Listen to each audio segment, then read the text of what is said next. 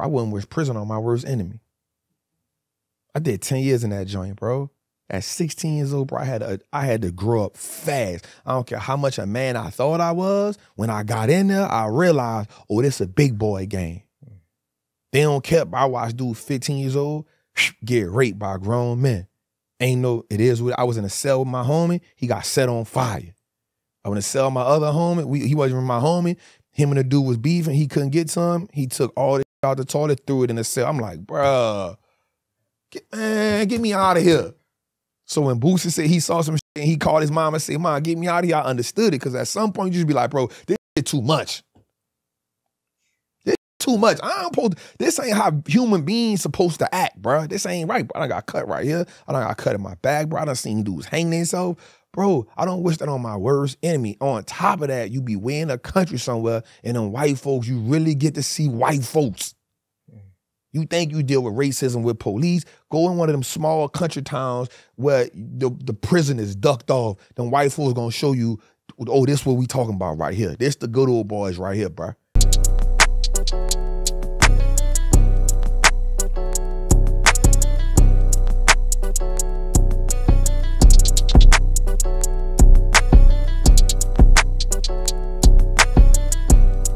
Yo, what's poppin'? It's your boy, Mr. Jay Hill, and welcome to another episode of the Jay Hill Podcast. But right now, I want to give a special thank you and shout out to our sponsor, that's Top Dog Law. So look, man, if you're suffering from medical malpractice, a slip and fall, especially a car accident, make sure you call my guy Top Dog Law. That's Top Dog Law on Instagram and TopDogLaw.com. Look, if you check out his Instagram, you'll see he uploading big checks. I mean, like every day. I ain't talking about the little ones the big ones. So shout out to my guy Top Dog Law, topdoglaw.com. Get that money. I know I'm trying to get it. You know, it's funny. Um, talking about impact. Uh, like I had my um my media kit done on my one page done, mm-hmm. and I made sure my man put the uh like so uh cultural impact because mm-hmm. like even outside of like people doing on the internet, I feel like cultural impact is a lot of things. People, it's something that people look over look in general mm-hmm. within yourself. Even like sponsors, when it come to like trying to give you money, mm-hmm. they want to look at the impressions or the views, mm-hmm. but they skip the cultural impact that you might have on mm-hmm. on on on just your your industry. Mm-hmm. And I made them put that specifically for that reason because it's something that I feel like a lot of people don't think about. You, are looking at your value. yeah, I mean, uh, you know your value, and, and mm-hmm. I think everybody they don't they don't dig in deep enough to understand what's their value right? It's stuff I've turned down. I'll be honest with you. Amazon offered me six figures to do a book that they could keep once I write it. My value wasn't in that. Yeah. I was like, nah, I'm good. They was like, "What you, you know, we going." I'm like, "Why would I? Why would I write it and give it to you?" And they was like, "Well, you can write another one." I'm right. like, "Nah, that's my value." You know what I'm saying? My value is why would I let you get something that I've put together and you you can benefit off it in perpetuity? Mm. Right? So you you give it to me for six figures, but you're gonna go make millions off it because you can produce it that you want. You can do so many other things with it.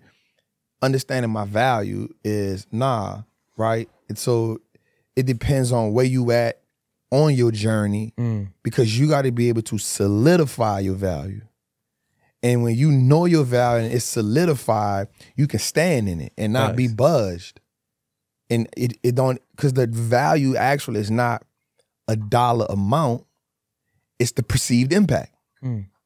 Right? So when you come in and your people who listen to you every week, you now have an obligation to give them a certain amount of value. Mm. You obligated to that. Your consistency has now left an imprint on their life.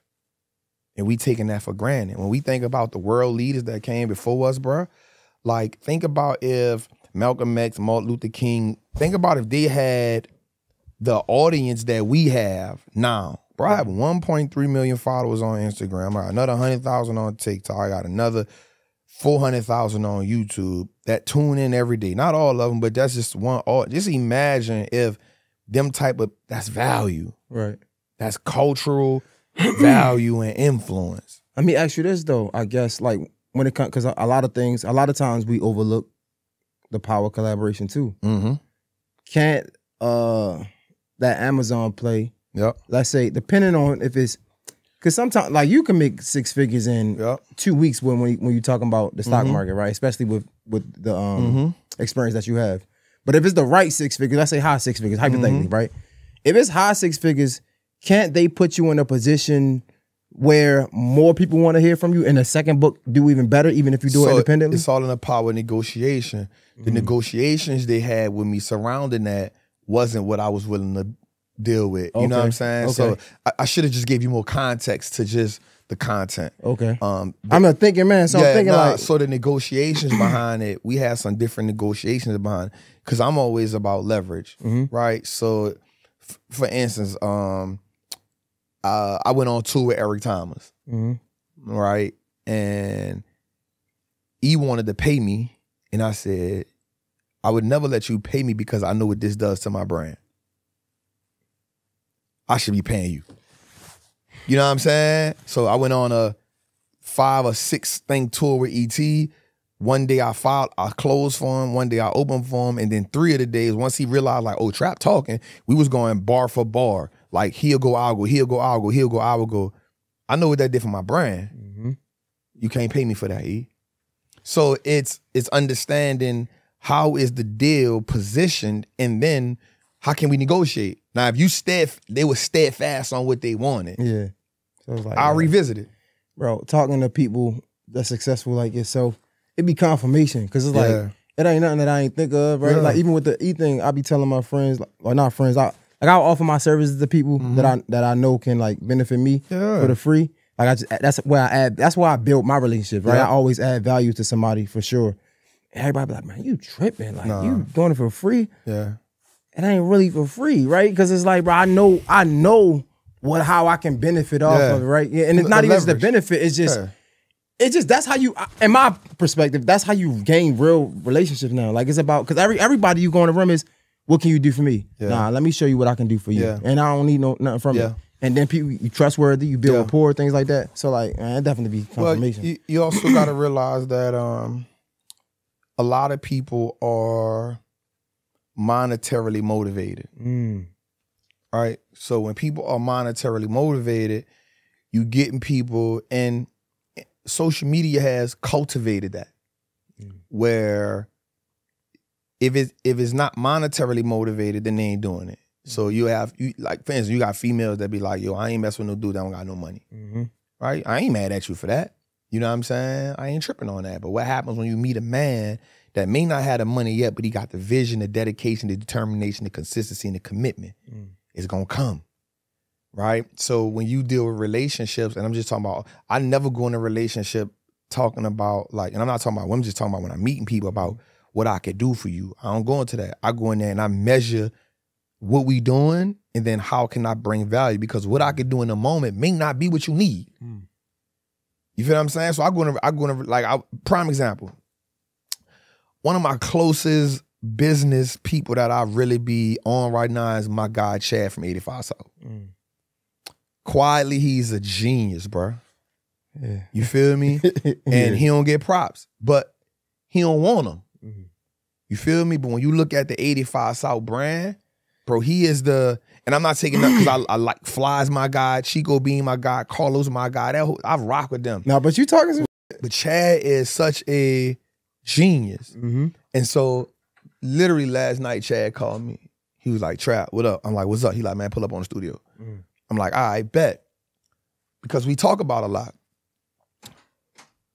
I go to the studio. I was in the hour. Thank you, brother. I appreciate you so much. I was in, I remember the Look at that last spot that they had. Right?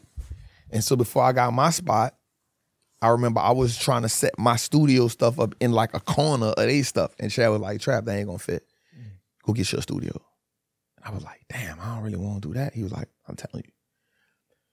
So I go to the new spot they got, and I, immediately when I saw bro, my eyes lit up like I saw the baddest woman I ever wanted in my it's life, so dog. fire, right So when I saw the studio, I was like, damn. it's fire So I'm looking at it, and he's just walking me through it. He like, all right, we got this stage, we got this stage, we got this. He was like, this the admin part, boom, boom, boom. So he walked me through the whole thing, and I'm like, and immediately he started telling me, this what I could have did better right here. I should have did this. This came later. But you know what, Trap? I've already outgrown this. I said, how you outgrown? You just got here. He said, because I'm building where I'm going, not where I'm at. come on man And I was like, damn. I went there 11 o'clock. We ain't leave at 245. Me, him, Fly, and Ryan, we just was talking. Now watch this. The value I give to them just now, while we was talking, it wasn't even about stocks. I was like, Chad. So he, I'm like, yo, you got to get SOPs, Chad. He was like, what the hell that is? Him and Fly, like, what the what that is, Chad? What that stand for? I'm like, I'm, I, I say that's standard operating procedure. I say this is what you need. I say the dudes on the camera, they need to know what they're doing post production and pre production. The dude on the sound, they need to know what they're doing post production and pre production.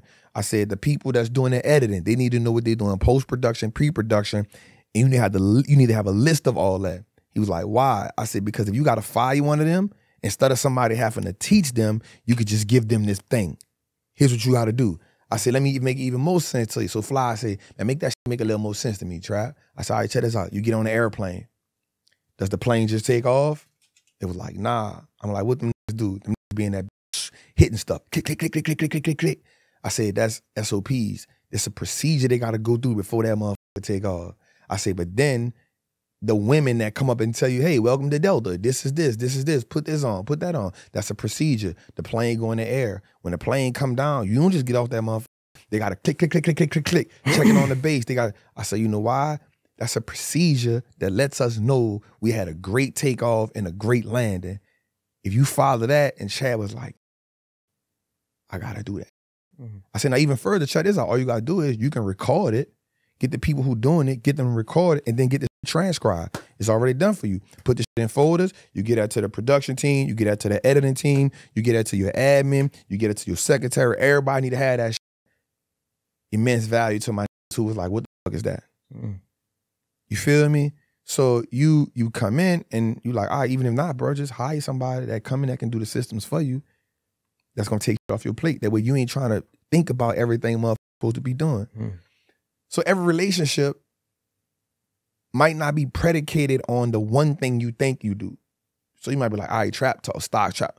Nah, I may have a business conversation that may take that help you. So I never go in a situation saying I'm gonna do this. I always go in a relationship saying what part of me is needed in this relationship. Come on, man. Let's get this started. I feel like we ain't even start the damn interview, man. Yo, what's poppin'? You know what time it is? Your boy, Mr. Jay Hill, Jay Hill Podcast, special edition today, uh, with a special person. I mean, this guy is like literally like a legend, and, and not even just in his field, but just gener- in general, right? Like we come from uh, small cities in New Orleans, right? Mm-hmm. Oh, he comes from New Orleans, and I mean, he just cultivated a, a situation out of nothing, right?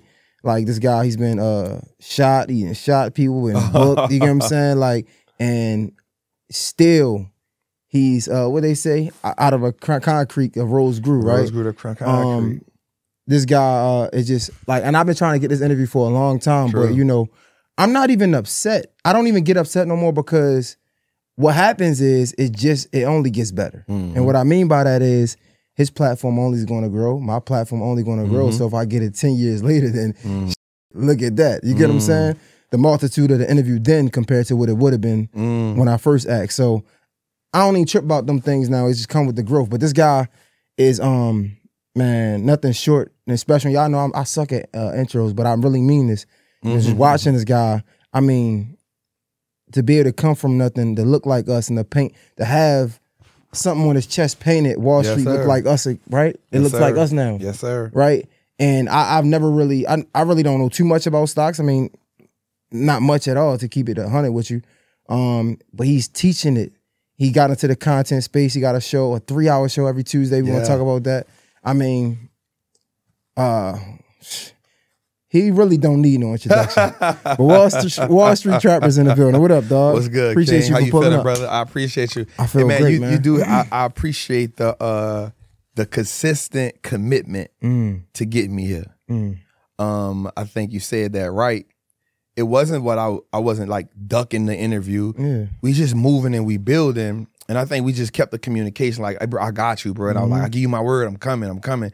And every now and then you would just be like, hey, what we looking like? Mm-hmm. You know what I'm saying? So I think that that's 100% a testament to who you are as a man as, as you growing. Because mm. you could have easily been like, man, I ain't worrying about that dude. He ducking me. And it's not the case. And I think sometimes we get impatient for no reason, forgetting the fact that we all are growing, we all are building. Mm. And so sometimes when you want it may not be the right time, but when it comes, it's the perfect time. Perfect time. Every Yeah, yeah. So. I'm I'm glad to be here. I'm, I'm excited and I'm proud of what you've been building, man. I For sure. appreciate that, bro. Um, let's stay on consistency for a second, man. Yeah. I think you said you've been doing this consistently since like 2014. Yep. Yep. Right. So, uh, that's when I started taking it serious. Right.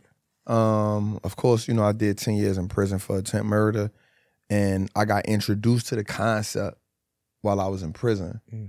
Um, I got home, I got found not guilty on another charge, and I came home about 2012. Mhm. Another charge got overturned in 2014, and I was just like, I like some things got to change. Um, I'm I'm real close to being a, a, a statistic, Mm. um, and so the thing that came to my mind was you playing the wrong game, and that's what the guy told me when I was in prison. He's like, bro, y'all just playing the wrong game, and that stuck in my head. Um, and then so I started taking this like really serious. Um, I had studied a lot while I was in prison. Um, consistency is doing this, doing the thing con- continuously until you get great at it. Mhm. Right? Uh, people can fluff that word out a lot, Mm. but I kept doing it until it, you can't deny when something has been working. So we look at the playbook of America. That's my that's the game I play. I'm my goal is to master the wealth game in America. Mm. I'm not looking for the game to be fair. America ain't never been fair. Right? They stole his land. His land ain't for them, but yet we had Columbus Day. The game I mean nothing about America fair. But if you understand the rules of the game, you can navigate the game. So I heard they said I heard somebody say one day fair is only for uh, Ferris wheels and um the what's name cookies, the uh, deep fried cookies. Yeah. Like, That's the only thing fair is yeah, for. Amer- America ain't fair, and there were too many people beating their chest about this ain't fair and that ain't fair. But the wealth game is for the people who understand the rules of the game. Mm. And so when I looked at the wealth game, I looked at okay, the the the majority of people who are wealthy in America, at least sixty percent of their wealth are in stocks. Mm. Why would I do anything else? Nah, Now, don't get me sense. wrong. I don't have nothing against real estate. My my triangle offense is stocks, real estate, business, Mhm. right? But for me, you just understand it. Like stocks is where I need to be at. Let me master that game. It's the easiest way to print money. It's the easiest way to print money in America. Why why not play it?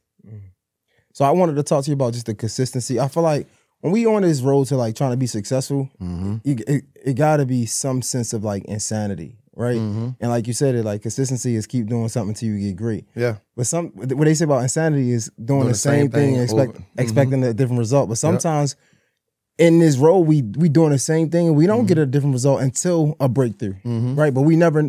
But it's insane about it because it's like you thinking you know you're going to get a breakthrough. You know you're going to get the breakthrough, no, even though nobody else see your vision, but you know, Mm-hmm. right? So that's why I say it's like it, it, part of it is ins- insane.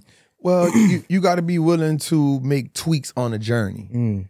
So if you you you on the road to greatness. So Mm-hmm. even for you with this show, I can guarantee you if I went to your first show and I come to now, Mm-hmm. you've made a lot of tweaks, but you still shooting the same show. you feel what I'm saying? It's the same show. Yeah. But what happens is you get a better camera. You get a couple people, you get another guy on a switchboard, you add a little light here, your flow start to change, your delivery get a little better. You learn a couple more words. Mm-hmm. Every interview, you get a little more confidence. So now you can say things a little different. You learn how to gauge the person you're talking to. Mm-hmm. He say this, this, you start setting them up for questions. So you're still doing the same thing though, but you're evolving and you're tweaking the process and the philosophy as you go forward. Mm. So you're not necessarily doing the same thing, but you're still in the same format. Mm, that's but a you fact. consistent. No, that's a fact. Yo, talk to me about because I feel like we're in a microwave era, right? 100%. And I, I I say this a million times. We talk about Instagram, IG being Instagram. I talk about IG being like instant gratification, right? That's what the app damn near stands for because you can see success and it's like I want that mm-hmm. now. But I feel like it's been a lost science in the people who's been doing it for a minute or like just grinding. I, I was curious. I wanted to pick your brain on that because I feel like nowadays it's like it's all about how fast you got it. Man, I only been doing this for six months, man. Right. We lit. It's like, ah, it's cool. Salute to you. But where the nigga that been doing it for 10 years and still grinding? Yeah. And it's like with you, like, of course we see the success, but even you in your mind is like, man, I'm still ain't where I want to be. It's because I got bigger goals. So one thing I will say is there's a lot. Don't get me wrong. I, I will not glorify the streets, mm-hmm. but it put a different moral code inside of me.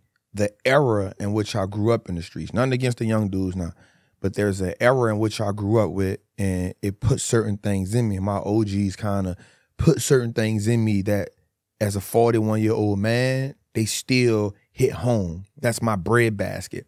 So if I look at what I'm doing right now, I'm like, all right, cool. But if I look at the people I admire, right? They ain't quit just when they made a million dollars. They ain't quit just when Martin Luther King ain't quit when he won the Nobel Peace Prize. Or, you know what I'm saying? Nelson Mandela ain't just quit when he got out of prison. You know what I'm saying? Or Malcolm X ain't quit when he just got into the Nation of Islam. He kept learning, he kept evolving. So the the goals that I have are huge. So when I look at my goals, I'm looking at where I'm at now. I'm talking talking to you about Chad from 85 South. Like that's my dog. When I look at him, he was like, bro, we building a media conglomerate. Mm. So it ain't. So I'm like, oh, shit, that's what I'm on. So if I look at what I'm doing now, I'm, I'm good, but that ain't legacy. I'm in legacy mode, mm. right? So how do I how do I be here for 20 years? So when I look at Dave Ramsey, dude been here for 20 some years, bet. When I look at Tony Robbins, dude been here for 20 years, bet. Right? So when I look at the people who been here for 20 plus years, I'm like, all right, that's my window. Mm. They 60 years old still doing it. I'm 41. I'm like, all right, I got 20 years. So I look at somebody who maybe 21, 22, and they're like, yo, I've been doing this for six months. I'm saluting you, but I'm asking also, are you enjoying it? But where you gonna be at when you 40?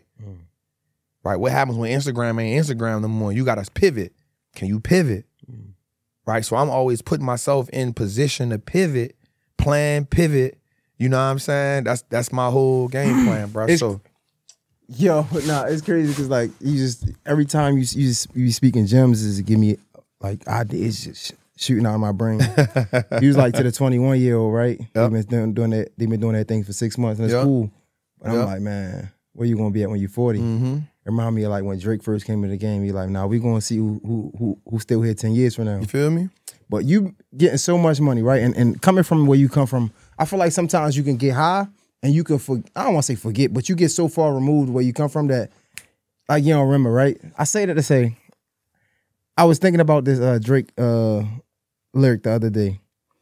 And it's like when you don't have no money, it's always easy to be like, man, it don't mean nothing. But Drake said it the best. He was like, Kush roll, glass full, I prefer the better things. Niggas with no money act like money isn't everything. Everything, What yep. you think about that? Um, I think money has its place. Um, again, we're in America, right? Um, Did I get the lyrics right? mm-hmm. Oh, all right, all right. I'm just making sure. So first of all, I'll, I'll say this, bro. You know, like I believe in God, man. Mm. You know what I'm saying? So I'm I believe in God and I live in America and I'm a black man. Right. So one is I know there's a higher power. Two, I know that America money is the golden calf. Mm. Right? And I'm a black man. So what does that mean? All right. So I believe in God. So God tell me don't put nothing before him. But I live in America where money is worship. Mm. I'm a black man, so I already grew up without money. I already grew up impoverished. I already grew up behind the eight ball. I already see everything around me is impoverished. I know what lack of money look like. So for me, it's always saying, I'm not gonna let this money be my guide. I'm gonna always go to the source, but I will acknowledge that I do need money to exist here. Mm. You feel what I'm saying? I'm not gonna disregard that. So for me, I do a lot of stuff. So I love giving back. Like you'll nothing, and we talked about this. Like I'll, you'll never see me flaunting money, but you'll see me talking about assets I'm acquiring. Mm. It's two different concepts. If I show you a lot of money, then you getting caught up in the idea of the illusion of what money represents. But if I show you I got a million dollars in stocks, now you understanding of what the power of what that money can do. Hmm. Right? So when we look at America, America has uh 319 million people in America, right? But then you have 732 billionaires and you have 22 million millionaires. Listen to that number. So that means in essence, you really have 1% of Americans, 2% of Americans that's really living the so called American dream. So you still got another two, maybe 20, maybe 19 something million people that's either living check to check or barely getting by. Mm. My numbers may be off a little bit. But those are the people who worship money. The wealthy people understand the money, so their goal now is to accumulate as much of it as they can so they can buy more assets because they understand that's where the longevity at. Mm. So you have a group of people that's glorifying money and it ain't nothing wrong with it because nobody never taught them nothing different. You only gonna act out in this world based on what you know. And so everything that our culture gets glorifies getting money. Mm. All right. But then when you look at other cultures, and I'm not even gonna say other cultures, when you look at specific groups or pockets in cultures, you see the difference. Mm. And so for me, I just want to study the people in the in the pockets that's doing something different. Do you think that the people who was living check to check, do you think that they're glorifying money or they just never had it, so they think that's the problem? So it to ain't it ain't that they glor. It's not. So it's kind of like America is so amazing at what it does, right? You got to understand the machine of America. So America. So you ask yourself, why don't America teach us about money in school? All right. Why Why would I teach you about money? Yeah, Then you gonna be me. yeah. And if you me, you have a good chance of knocking me and mine off. It's like the analogy you made. Uh, it was a couple yep. years ago about the lion, the lion and the ze- zebra. Yep. Yeah. So the lion would never tell the zebra how to get away because then I'm I'm putting my prey in a position to starve me. Mhm. And so it's not that people glorifying money. Some people, what happens is because, example, if I'm in a desert and I need water Mhm. and you got the water, you are now the person that has the power. Right? And if you give me that water, yo, I'm gonna praise that water. and you probably do next near anything to get the water. You feel me? And when I get it, immediately, if there's people behind me, I'm gonna feel like I'm better than them. Mm. Cause I got water. Y'all don't. And so there has to be somebody that disrupt that vision to say, nah, yo, let's find a way to equally distribute this water. And so now the water is no longer the thing that we are glorifying, but we now saying that it's the restoration that the water gives us to be on a journey a little bit further. Mm, mm, mm. You feel what I'm saying? And so for me, it's like I'm not mad at the young boy who glorifying money because he getting money for the first time in his life. He probably been broke. He saw his mama be broke. His mama probably got beat. His daddy probably in prison. His daddy probably got killed. Yo, that's his way of feeling empowered. But somebody got to come teach him something a little bit different. Mhm. And that take time because when I was 21, bro, don't tell me nothing. I'm in here for a body, dog. You know, I attempt murder, bro. I'm glorifying that until I got until I learned something a little bit different. Mm. And so we all got to go through those phases in life. But who are the people that's teaching us? And America's done a great job at teaching us to look at certain things a certain way. America has taught me and you how not to even like each other without even knowing each other. So when I, I'll go up the street and be like, "What's up, King?" Because I want to break that. dis- I want to break that out the gate. I want us to know we on the same team, bro. No, you was. It's funny because you was talking to uh, 19 Keys about this. It's my brother. Yeah, not Yeah. too long ago. It's basically about like how we're taught. It's kind of like we're unconsciously taught to to hate on one another. We kinda. are. we And- are. My thing is, bro, I ain't gonna lie to you. I feel like sometimes I, I- think I'm an empath because everything you saying, I just it's good and it's dope. Mm-hmm. But it's like we know that I, I, don't know if the world could ever get to a It place. will never. Yeah. It will never. And, and and and when we talk about learning new Mhm. things, it's like, man, I was so fortunate to come to Atlanta and like just learn some new things about finances, meet Hell different yeah. people. You know what I'm saying? It was, it was a blessing, but like I I be lying and sometimes I don't think like, damn, man, I wish my whole I wish the whole Baltimore can be here and Mm-mm. understand this. I love when I was in Baltimore, man. I love Baltimore. Baltimore reminds me of New Orleans so much. Yeah, bro. for sure, yeah. Of South Baltimore so much, bro. I love that. I love it, bro. I Yeah. ain't gonna lie, You know, Boosie's like our Um, God, Godfather. man. I rock with I rock with BMO. So when I did my six my when I told you I did the eight city tour before I did the yeah, paid tour, Yeah. BMO was one of the cities I went to. I rock with BMO. What what happens is there will never there will never be a time where we all come together. That's too much like right. That's the reason why all our great leaders got killed. Mm. There's watch this. There's so much money to be made in chaos. Mhm. Right? There's so much money to be made in chaos. There's not enough. The money that can be made in unification makes one group of ethnic group of people more powerful. We can't have everybody sticking together. They don't want that, right? I love Atlanta because I feel like Atlanta gave me coming from New Orleans, just like Baltimore. Um, you don't see success too much. So when I came to Atlanta, I was like, whoa, they don't even know what they got here.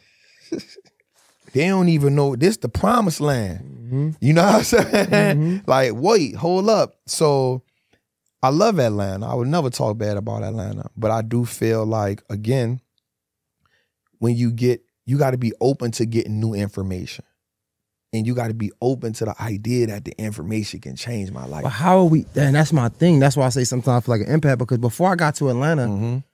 I'm thinking I'm doing my job to learn, Yeah. right? I don't know. Perfect example. you, t- you talk about Chad, Chad, right? yeah. I never talk t- talk to this man. I Let say really- something. Go ahead, I could tell a light bulb went off in his head. Now. I Perfect saw example. it.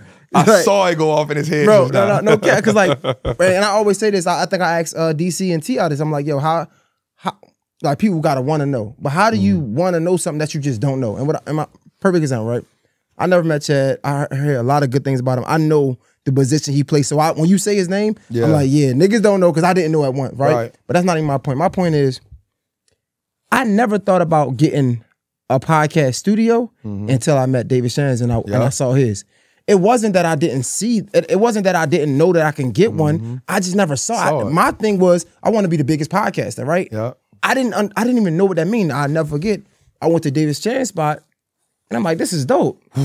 Oh no, I need one of these Yeah. because I saw it. Yeah. So if you in a city like Baltimore, New Orleans, mm-hmm. and you don't see it, it's 100%. easy for us to be like, man, we gotta want to know, we gotta get new information. But it's like we don't even know where to start to get the information mm-hmm. that we need, let alone that we want. You get what I'm saying? environment and exposure is so much of a key, right? So even right now, I got six thousand square feet, but when I saw what Chad got, I was like, "Yep, I'm going bigger." Mm-hmm. But I already knew I was going bigger, but I hadn't. I had no idea what it looked like. Mm.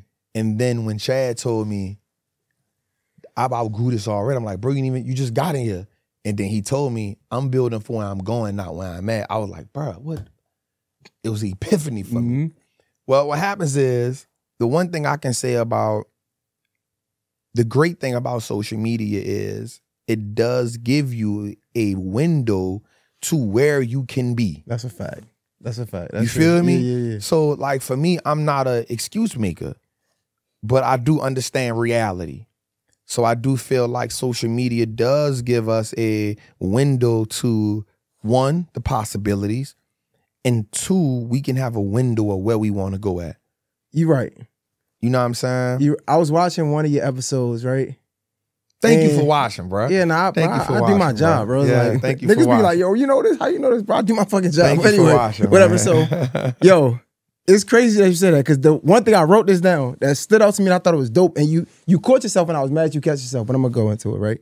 You were talking about uh Charlie Munger, right? Yeah. Rest in peace. come on. And you were talking about how you heard things Mm-hmm. or how he said things to you, and you're like, wait, I, I never met this man. Yeah. And I'm like, nah, don't do that. Don't Yeah, do that. yeah, Because in my yeah, mind, I'm like, it's great because Yeah. it shows you the power of reading. It shows you the power of social media. Because you're like, man, he taught me. Yeah. He taught me. He Yeah. taught me. And I'm like, wait, I don't even know this. You never dude. even Yeah. met this man. So like, that, so the fact that you said that, like, nah, you are right. So as much as as bad as I want to feel for my people, it's like, nah, there's really no excuses because Yeah. we do have access to the Yeah. information. So when you said that, I'm like, yo, I'm like, damn, like that really opened my Yeah. eyes. Like, we sleeping on the information that we do have. And it's because again, environment. So what happens is what we what we don't realize is that environment. I said this before. Environment does a few things for us. Environment sets the standard. Environment enforces the standard, and the environment rewards the standard. Mm. Right. So think about it like this: we're gonna we're gonna talk about two different case scenarios. So let's say you grew up in grew up in Baltimore, Mhm. straight up, right? The standard for that for a black man, probably coming up in the hood, probably a certain type of car. It's not even about home ownership. Mm. Certain type of car. You dress a certain way I was about to say a certain type and of as, sneakers. And as a, and as a man, drill talk, it's there's a number of females that you deal with that gives you that. Oh, he get the he get them. Mhm. So that's a standard. And then once you accomplish those things, the environment enforces that. Like, yup, this the standard. Look at Jay. Jay did this. He got he fresh. He got that shit on. Mhm. He got the whip, and he got, Got some hoes. such and such, such and such, such and such. That's just So fact. the environment set the standard, it enforced the standard, and then it rewarded the standard because now, because you had all three, guess what you get now? You get more women. Mm. You get more dudes that's like, you get more that, you the man. So now the environment did that. Now let's change that Mm. let's come up with a wealthy environment. So let's say you got this this this guy, he's a business owner, he wealthy. So now the standard for them is, yo, you have to graduate high school with this type of grade. You got to go to college and do this. You have to get this type of job or start this type of business. And if you don't do that, yo, you're a failure. Mm. So now what's the standard? The Yeah. environment done set that standard. Now the Johnsons and the this is the Williamses and the such and such, their kids are doctors and lawyers and they work on Wall Street. So now the pressure is, shit, my kids, okay, there's a new standard now. Mm-hmm. Right? So environment sets the standard, rewards the standard, reinforces the standard. Why did you so when you hear people say this, and I, this is I love this, when you he, when you hear people say, yo, I need to move out my city to go to another city, in actuality, what we saying to ourselves is, yo, we need new standards. Mm. I need new standards. I need, I need, I, I needed to come to Atlanta. Why? Atlanta gave me new standards from New Orleans. it gave me new standards. Why? Because I can see dudes my. It's not saying that those standards don't exist in certain. One of the things I did when I came to the A, bro, and I told my, I told Fly this last night. I said, bro, when I first moved to the A, I wasn't trying to go live in the hood, dog. I wasn't trying to go nothing against Summerhill. I wasn't trying to go live in the Bluff. I wasn't go trying to live in Summerhill. I wasn't go trying to live in the zoo. Bro, I'm from New Orleans, bro. I'm from the hood. I don't need to come here and do that. I'm trying to go live in somebody high rise Come somewhere, on, bro. Come on. I done did that already. I don't want to be a gangster in Atlanta, bro. I'm straight. They got enough for them. I left New Orleans. I'm, bro, I'm trying to be uh, what what we be doing. So boom, what was the standard now? All right, bro, bro, dude got the high rise and they mm-hmm. got the mm-hmm. okay. This who we okay. We got a new standard. So fact. We I said- got a new I said standard. the same. I said, babe. I said, babe, we gonna stay. We're gonna do the high rise for a year. We end up doing it for two, but it's still it was like, man, It's a new we gotta at least do it. We got a new standard. It's So we set a new standard. Now for people gonna be like, that ain't it. But it was a difference from I live next door. This a trap house right here. This a bando right here. This now we're not doing that. So when you you you leave your environment because the old standard has wore you down, mm. And you like, yo, I just need a new standard. Because one thing we will do is if we get a new environment, we'll live up to the standard in that environment Mm-hmm. automatically. Like, look, I'm here, and, and now here's what happens: when you hear somebody move from one city to another city, they brag on a new city they in because there's a new set of standards for them. They didn't release the old standards. They came to the new city. They embraced the culture, whatever they're around, and now that's the standard. Mm-hmm. Until you get them the environment. Now here's what happens: you come to Atlanta or you go to another city, and then what happens when you meet people that's doing something different? You like, damn. Dude did a, he a, he a million? He did a million in a day? What the fuck I'm not doing? You feel me? you feel me? So my standard kind of changed. Like, damn, wait, a million in a day? Mm-hmm. What?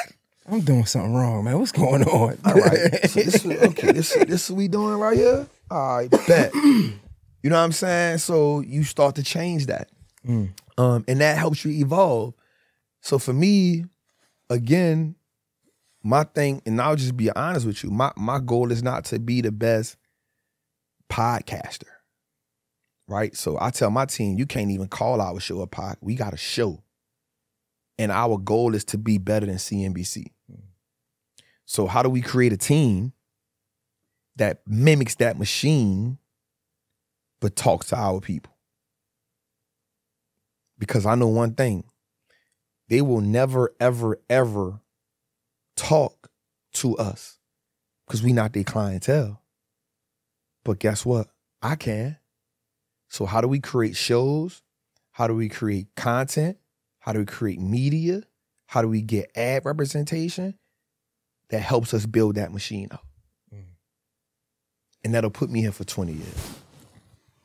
That's a new standard. Bro, I want to uh, stay on standards. nah, cause yo, just reflecting, right? Um, and like my show is about it's less about what you do and who you are. Right? Yeah, man. You're so And dope, I appreciate it, bro. You're so dope, man. Nah, thank you. I, just want to stay on standards and um, not to dwell on the bad times, but Let's go. when we talk about like our neighborhoods and where we Mhm. come from and the standard that it, it, it has, it kind of remind me of. And again, I never, I've been to prison. I was locked up You for maybe go? two days. right? but I can, I can assume, right? I can assume that when you go to prison, if you don't do the right things, how it can set you back, and how people will come out of jail. Yeah. And it's like you hear about people talking about like grown men coming out of jail, but they still mentally kids, right? It reminds me of kind of like the standard that our community set. And it's unfortunate because like when you say the standard that it was, and that as a as a man, I, I people probably don't understand, but I preach to like younger men about the importance of like being faithful to your woman, the Yeah, importance man. of taking care of your family. Because when I was coming up, that wasn't I didn't understand that standard, and I look and I look back now how far it, it, it put me back. Yeah. Like I was talking to my my wife now how Salute to that. no, I appreciate it, bro. I was talking to my wife how about how like that, being faithful was hard, and most people might not understand, but it's hard because the standard wasn't being faithful. Yeah. And I'm I, I've- been set back so many years that I'm just here. It's been six years for us is a long time. But for Yeah. the expand of my life, that ain't nothing. Nah, it's England. So I, I talk about the standard. The standard was you get money. It was even to the point where, and it- it's it's, it's embarrassing now that I know better to talk Yeah. about it. Where when I was getting chicks, only because this nigga couldn't get it, Yeah. or because I'm that man. So I don't even like her. But look how look what that did to my my intimate relationship. Look what that did to how I address women. You get what I'm saying? Like I'm only Yeah. getting chicks. I don't even. I'm not even interested in you. Like I'm just. I just know I can do it. So that nigga can't get it. So that's my flex. Yeah. You feel me? But that standard in Yeah. our community set us back. Like that? Kind of how jail set people back. And it's like 100%. it's just like, man, I don't know. I don't even it's not even a question to ask about it. It's just like so I'm let me let me let's dig into that two different ways. Mm. So the other day I saw this post. I love the way that everybody now is a relationship expert. it just makes me laugh, right? It just makes me you got a bunch of broken people. You know what I'm saying? You got a bunch of broken people, emotionally broken people, uh, projecting fears, insecurities, and traumas on everybody. Right? And so I, I saw something the other day and I saw uh I, I always go look to see what the women say. And I saw a women a woman say in the comment, um the the a, a man says that he's not ready for a relationship and he 40, throw your life away. And then I saw another woman say, uh, uh, when when when men say it's not you, it's me, right? Uh, uh the one that got me was when he, and, and a woman said, uh, "I never grew up with a father, so I ain't know how to treat women." But you 40 years old, you should know how to treat women. So I'm just looking at the comments, and I laughed at that because all of those things are real. The reason why they're real is let me salute you for being faithful to your woman because it is hard. Because your woman probably is beautiful, but there's a million beautiful women in here in this world. They don't stop making them. They get younger. They and you're still a man, and you in your eye is what you get, and so you have to have the restraint to say, "Yep, she beautiful, but ain't worth my wife." And not even halfway. You feel me? Mhm. So salute to you for that. And that takes restraint. That takes discipline. That takes understanding the value of your woman. That's amazing. But what happens is, is I don't think that, I don't think that, I think that the media, social media has put us at a war against who's better than who instead of helping us understand each other as human beings. We we lack the time to understand that there's no cookie cutter approach on how to. There's one, two, three, four, five, six, five men in here. All of us got five different emotional, mental experiences with manhood. Mm. With manhood, right? So, me, bro, I've never met my father in my life. The time I did was about to meet him. My mama called me. She like, yo, your daddy is, I say, my who? Mhm. My what? I'm 32 years old. I just did a 10 year bid in prison. My who? I got a two year old child. Nah, we good. She was like, he he about he about to pass away and he won't meet you. I said, nah, he got to take that to his grave. Mm. She was like, you can't be like that. I was like, nah, I can't open that up at 32. You gone, bro. I'm, now I'm about to live my life. Now, I, I don't know if I was right or wrong, but I knew at two years old, I had already made a bunch of sacrifices for my little girl. A bunch of them. And so, but I also realized now that I'm going to therapy that there was a reason why at this phase of my life, at 41, why I would deal with so many amazing women. But once I felt like I was getting close to them, I would push away. So we had to dig into it. Here was the issue. When I was 13, my mom went to prison. My grandmother passed away, which led to me being homeless. Because my family really couldn't take me in. My uncle tried to take me in, but because I was just so wild at 14, around now, because I had been home for a couple months, he- it was like, yo, we can't do it. So I go back to New Orleans. Also, I went to prison because the woman, the female who I was dealing with, set me up. Mhm. So when she set me up, bro, two dudes running the room on me, put a MAC 11 on my head. I almost get killed. I wound up going to prison. Shooting the dude six times. So immediately, the first three traumatic experiences in my life were around women who I cared for. But because I coped with it and dealt with it, I didn't look at it to say, no, this is an issue for me. You ain't address it. I never addressed it because we don't learn how to address those type of situations We just know how to. right? But what happens is when you when a woman who you who may not know the story, um, you may not have that with, oh, he don't know how to, oh, you playing games, and it's not really that, bro. We human beings and we deal with trauma differently until we address the trauma. We can't heal from the trauma, one hundred percent, right? So then you put me, I go to prison. I'm around a bunch of men. I'm sixteen. I'm impressionable. I'm a man child, 100%, but I'm still impressionable. Mhm. So now I'm around a bunch of men that's telling me different things, and believe it or not, bro, you taking that in. All right, so that's the whole thing. So now I grew out of that. All right, cool. What happened? I don't. Ha- I never had a father, but guess what? I'm a perfect dad. Man, I moved my daughter mama to Atlanta, bought her own house. We ain't had sex in eight years. My daughter eight years old. Guess what? She be like, yo, that's my best friend. Dude, good. He a one. I pay all the bills. You don't gotta pay nothing. I just need you to make sure my little one good. I ain't never had no daddy, but I learned. Right? And so what happens is we gotta give ourselves grace. We don't have no grace for each other. Instagram, we don't got no grace for each other. This is what we supposed to do. This is how it's supposed to be. That's it. You stupid. You playing games. You a little boy. You immature. You broke. You this. We don't got no grace for each other. None. And so now we talk about prison, bro, I wouldn't wish prison on my worst enemy. I did 10 years in that joint, bro. At 16 years old, bro, I had to, I had to grow up fast. I don't care how much a man I thought I was. When I got in there, I realized, oh, this a big boy game. They don't care. I watched dude 15 years old get raped by grown men.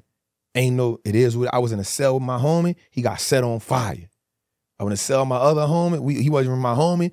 Him and the dude was beefing. He couldn't get some. He took all this shit out the toilet, threw it in the cell. I'm like, bruh, get, man, get me out of here. So when Boosie said he saw some shit and he called his mom and said, Mom, get me out of here, I understood it. Cause at some point you just be like, bro, this shit too much.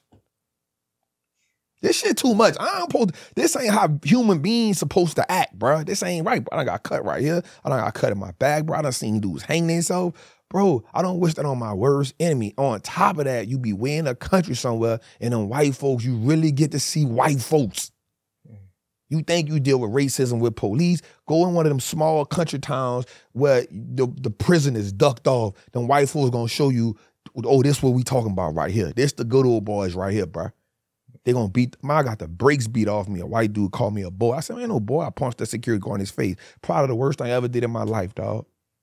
Them people beat me to death, almost beat me to death, bro. Sprayed me down three, four days in a row, bro. I'm talking about sprayed me until I couldn't breathe. And they had the audacity to say, Oh, you body body right now. Mm.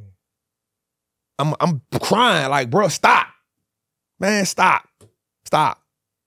Toya, Lil Wayne's uh kid's mother, yeah. me and her brother, whoa, that was my dog. We got sprayed down together. He don't want to stop rapping.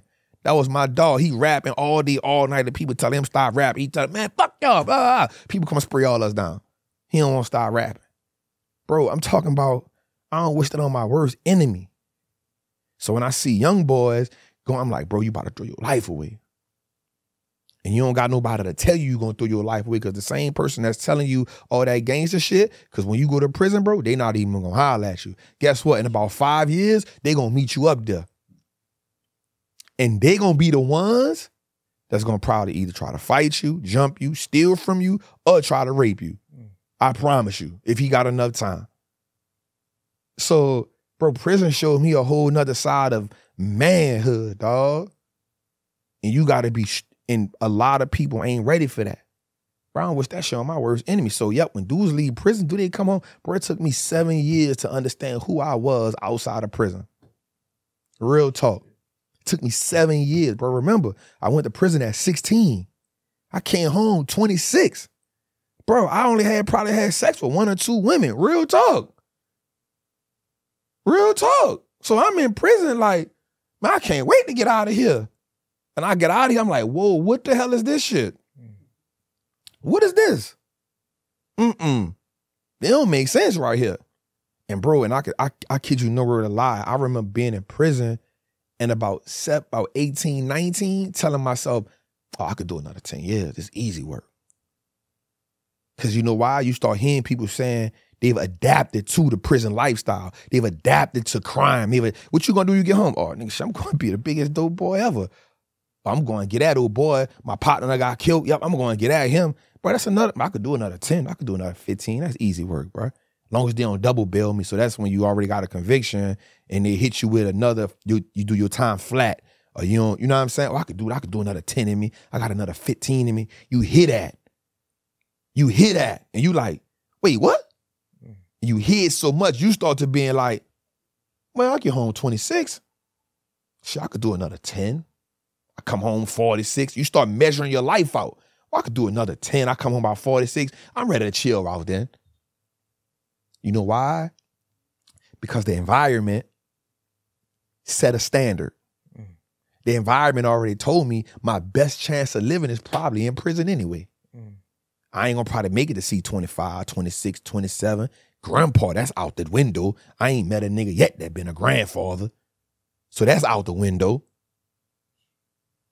So you already understand your life expectancy. And what happens is you start to now uphold that standard. It's the standard. Because guess what? I'm a gangster in the street. And I mean, don't talk about if I can move a couple things around in the pen. If I can move some things around, oh, I know how to get tattoo ink. I know how to get weed. Mm. I can get a cell phone. I got a plug because I'm working in a laundry. I got a plug with the people that come in at nighttime. Oh, I'm big dog. I'll never be this on the street. So why what we talking about here?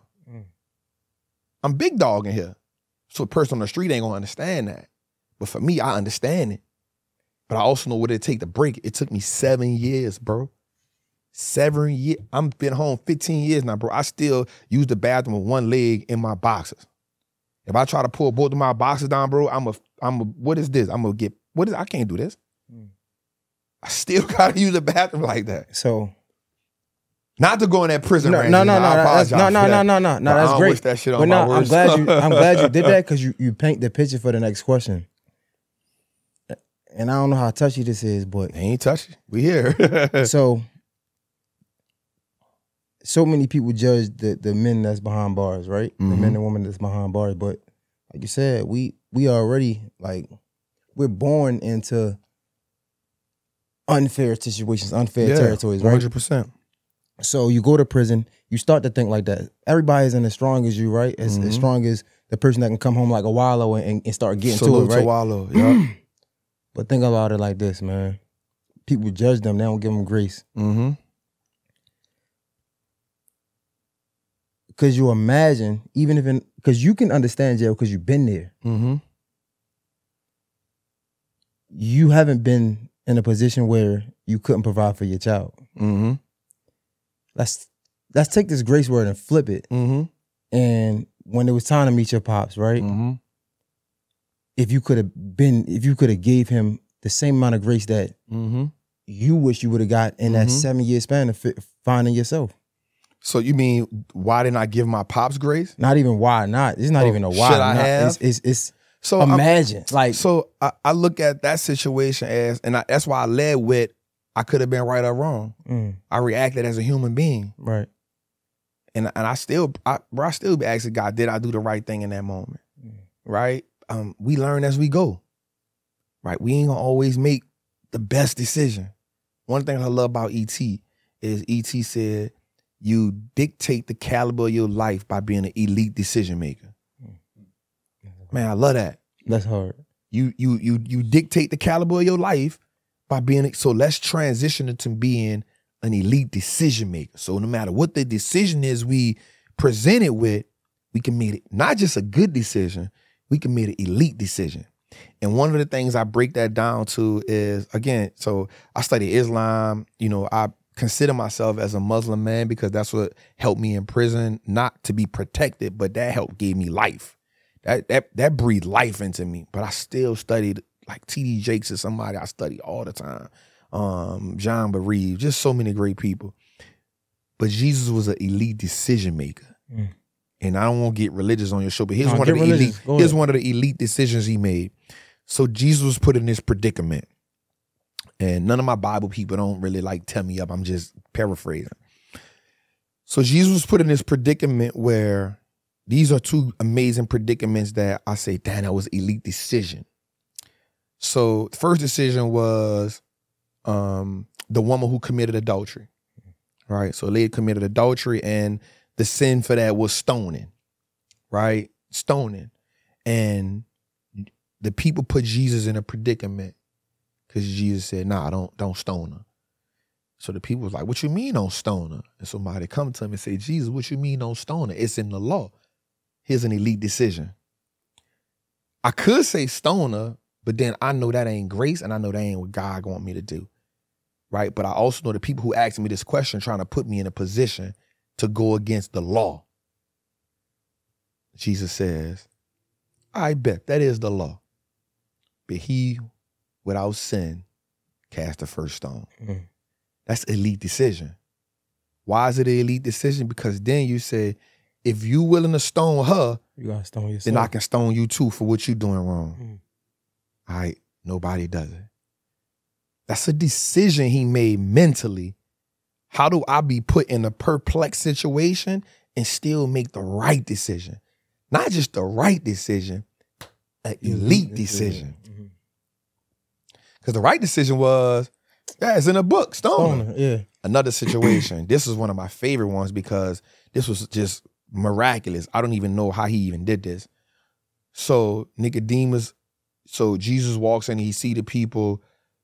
Uh, I, I want to say in the temple selling stuff, and he Jesus going crazy. He Jesus pit mad that he see this right, and so Nicodemus asks Jesus About the taxes. about the taxes. Yeah. You heard me say it before, right? Yeah, yeah. So he asked him about the taxes, and he said, "Yo, so I see you looking so many, like I see you looking like you tripping. What do you think? Do you think that people should pay Caesar, or do you think that people should not pay Caesar? Right?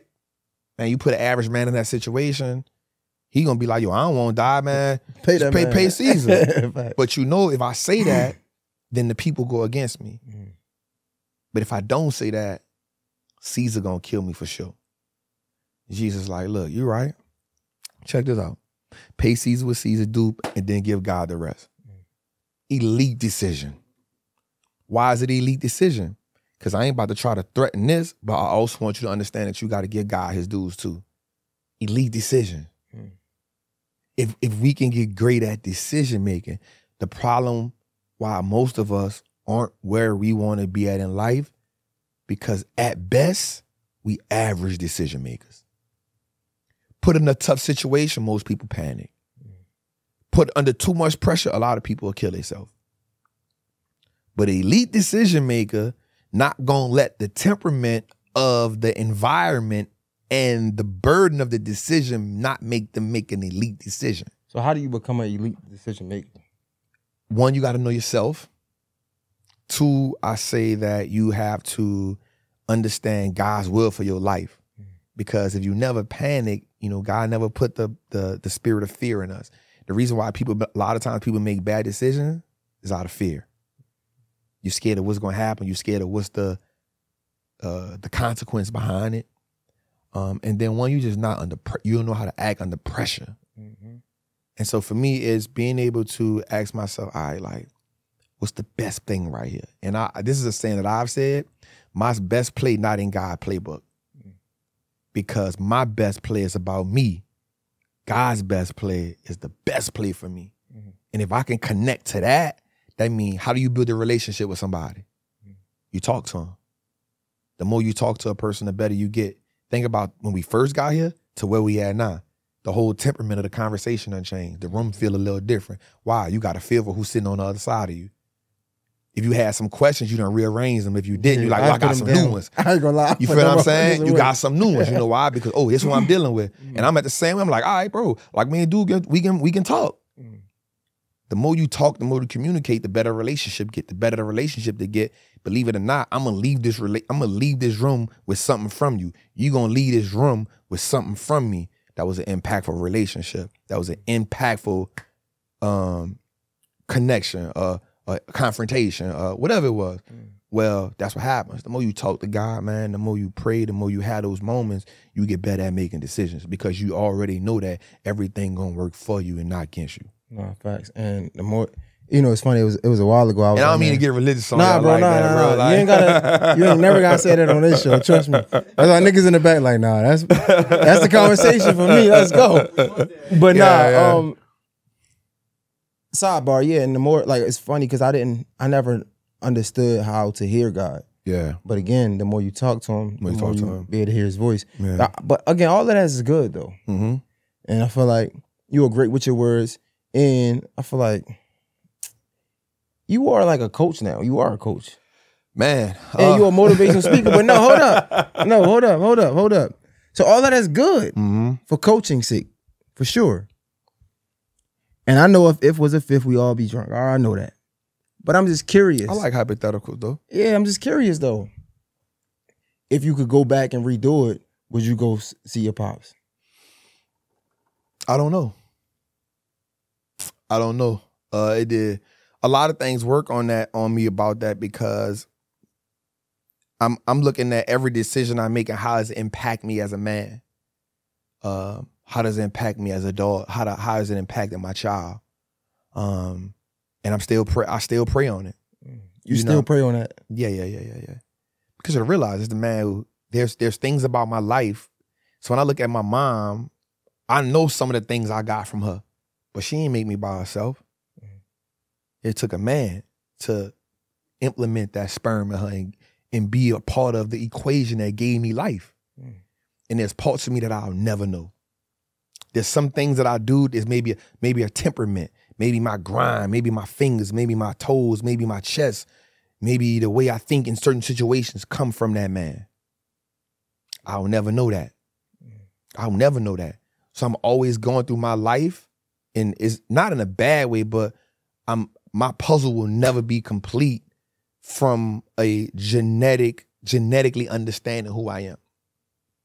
You feel what I'm saying? Now, for my daughter, it also is things about myself that I can't explain to her because I don't know. But I'm explaining to her from me and her mom. We having that.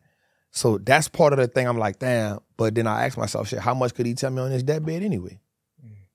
You know what I'm saying? So it's it's always a battle in me that I'm. It's one of the things I go to therapy about, bro. Dude in therapy told me one thing. He said, "Uh, the reason why you gravitate to people like T.D. Jakes, Eric Thomas, and he said because you're missing the father. You're missing the father. That's why you gravitate to men of power like that because you already a powerful man, and so you trying to figure out where your power came from.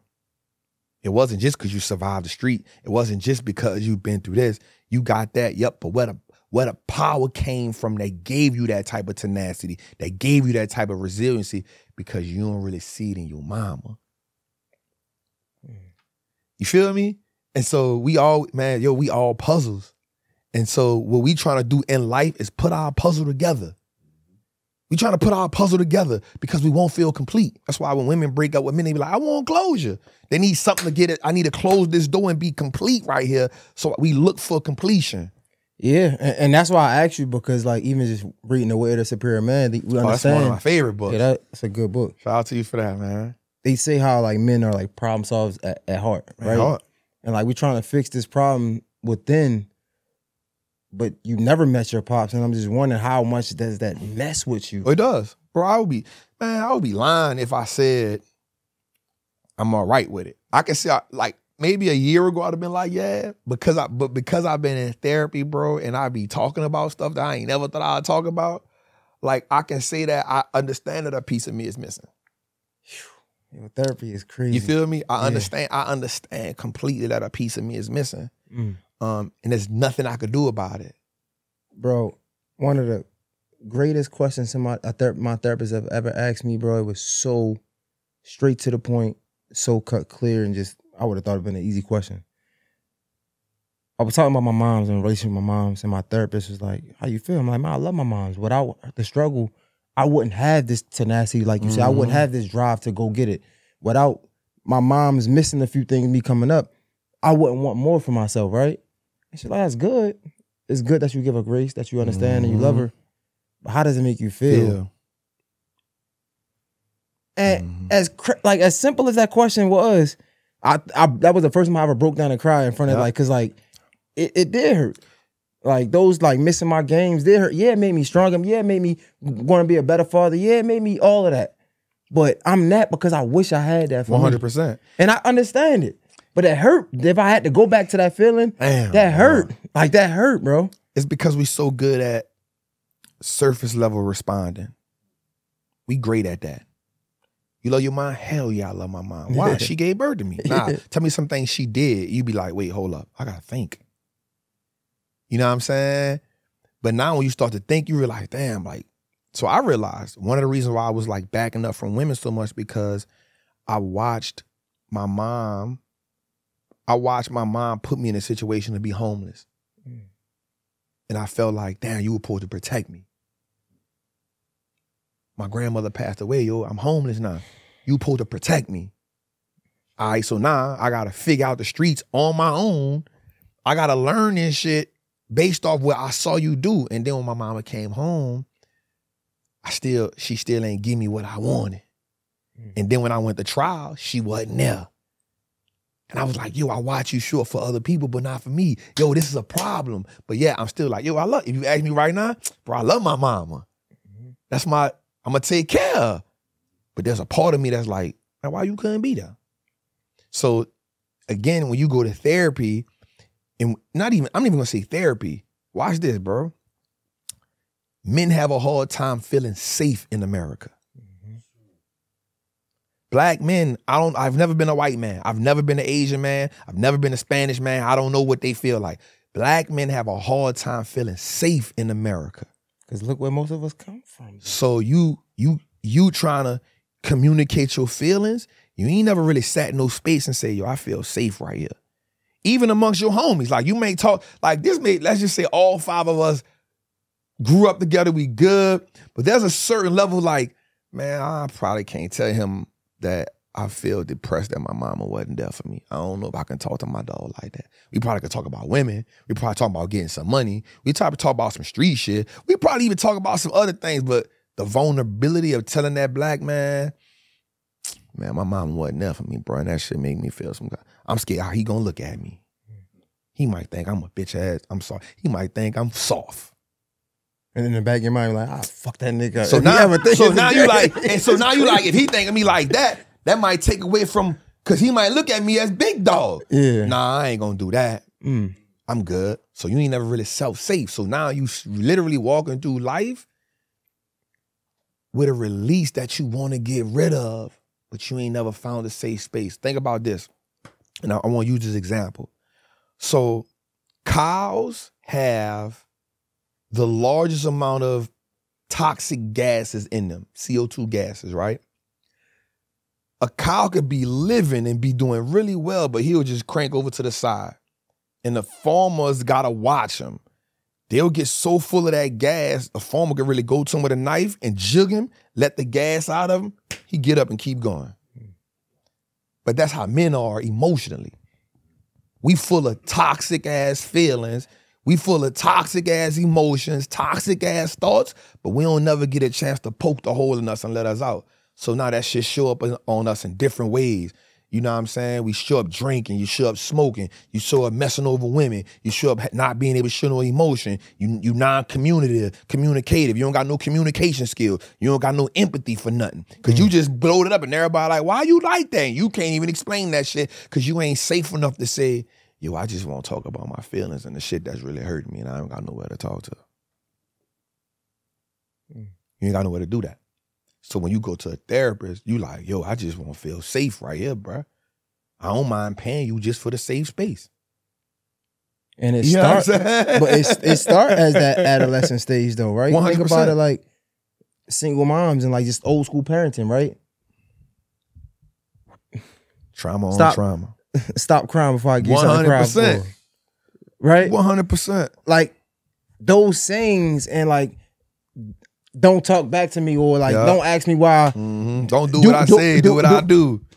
you feel me like it's it's it's it's just crazy man thinking about it but that's why I asked you these questions because I too was a similar situation where Right.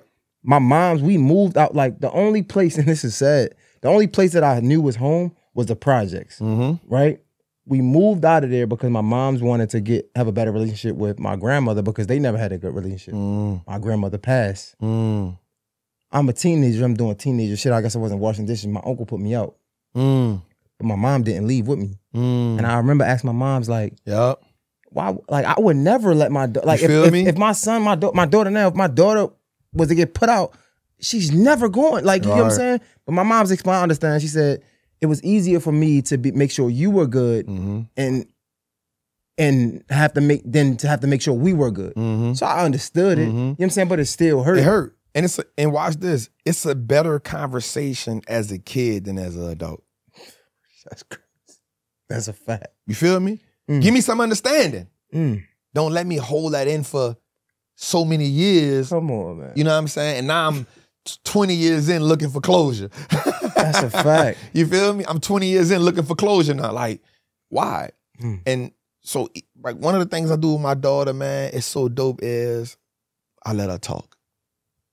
Tell, tell dad how you feel. Hmm. You good? You bad? I pour into her. I do my I do my best not to yell at her. Like I don't. And if I do something wrong, I'll go back and be like, "Baby girl, I'm sorry. Daddy, apologize. I wasn't supposed to do that. I've never cursed at her. Hmm. You know what I'm saying? And I let her understand. Like I tell her I love her probably three thousand times a day. I squeeze her all day. All the stuff I ain't never felt. I overcompensate for loving her. My therapist told me this. But the thing about that is you start to realize this is what I wanted. Mm. Bro, imagine I'm doing a 10 year bid, bro. I can count on my hand the letters that I got from my family, dog. That shit hurt me, dog. That shit hurt me to my heart, bro. 10 years. I can count on my hand, like, all right, probably about 10 letters I got, probably about three money orders. Right, bet. We back, we back in hustle mode. Right, bet. Laundry, boom. We charging $5 to wash the clothes. Boom, boom, boom. I got about 60 clients. I'm bringing probably like $150 a month. Let's run it. Or you want your clothes ironed? We got the press machine that's gonna cost you two dollars for the pants, $1.50 for the shirt. You want some socks too? I got you. What you need? Your your drawers yellow. You need some new pack of draws. Boom, I got you. I work in the inventory. You want the three pack or the five pack? Whatever you need, I got it. Don't even trip. I'm back in hustle mode. I ain't counting on no money. Okay, bet. Or they got five units. Guess what? I need so many people in each unit to bring me so much money. We ain't tripping. But the problem with that is you get used to being in hustle mode. Mm. And because you're in hustle mode, we all know that there's no, that means you in hustle mode because you don't feel safe. Because somebody in safe mode, you ain't in hustle mode. Mm-mm. You good. I don't care what's going on around here. I'm safe. We eating. Mm-hmm. You feel me?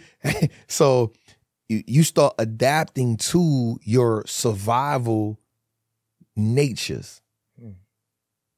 And that that's a whole nother. Now we talking about chemical imbalance. That's survival is a whole nother chemical release than being calm. And so now what happens is your body starts to do that. Now you start to always be in fight or flight Fight or mode because you're always in fight or flight mode. Now you can't be an elite decision maker. You can't focus. You can't even think straight. You can't be a elite decision maker. You can't do that.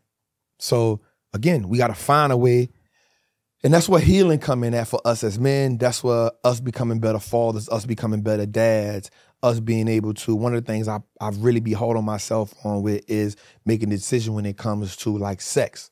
You know what I'm saying? Like, nah, bro, we not about to be out here just, bro. I'm in a situation in my life, bro, where I'm successful. I'm everywhere. I'm in Atlanta, bro. Bro, I could be a freaking porn star if I wanted to. You feel me? But I make the decision to say, bro, we not doing that. I got a daughter. I got moral code. I got integrity. And I personally can't be out here saying I'm empowering people if I'm trying to screw everybody I'm trying to empower. Got to move a little bit different. You know what I'm saying? So now you have to now start saying, I got to safeguard myself. What is the rules and declarations? What is the oaths and the codes that we have on our own self as men? What's that oath and that code, that morale that I live by? Every time the motherfucker get hard, I ain't got to go jump on something, bruh. Sit your stupid ass down, man. Go work out or something. Go jump in the shower, my dog. Nah, facts. That's the the import the You feel power of like the power of discipline. That's it, bro. Uh, Jocko, I can't think his name. Say discipline. Discipline is freedom. Mm-hmm. And I said that a man who is undisciplined cannot accomplish nothing in this world. Yet he is setting himself up for disaster. Mm. Bro, we look at the great men in the world. What is what is always taking them down? Lack of discipline. Mm-hmm. Whether it was their anger, whether it was their lust, they ain't had no discipline. So if you ain't got no discipline, if you can't control your anger, that's one thing I had to learn how to master because survival mode keeps you angry. Mm-mm. That shit keeps you angry because you mad that you in survival mode all the goddamn time. And now you start looking at people not in survival mode like, why you ain't in this mode? Why you ain't getting it like this? Why you ain't feeling like this? Why mm. you ain't at it like this? Why you ain't hustling like me? Cuz you surviving, nigga. I'm living. Mm. It's two different mindsets we got going on here. You survive, I'm living. What we doing?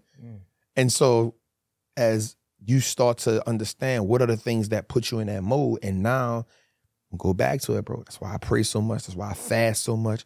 That's why I read the Quran and the Bible so much. It's because I always want to be the man that say, yo, I got control. I got control of myself. I got control of my thoughts. I got control of my my disciplines, bro. I'm not letting nobody trick me out of my position.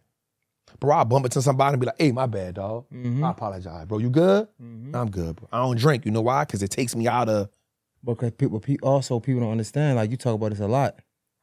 How much it costs to be a, a black person? How much it costs? How much does America cost? Well, he just listened to my last episode. But- he good. Nah, He good. He good. He good. But the thing about it is, like, But even that though, like, but how much it costs Much to it not cost. be disciplined though? how much it costs you? That's what you need to see because that can cost you a lot. Well, it's gonna cost you everything.